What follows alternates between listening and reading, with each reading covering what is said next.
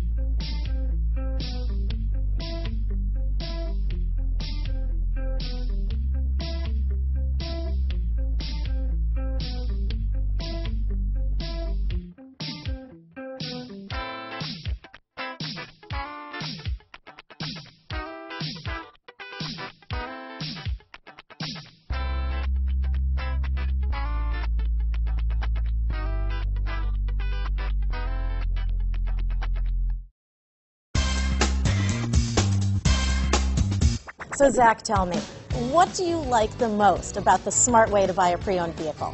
Well, you know, I had no idea a dealer could sell a car that barely passed a state inspection is adequate.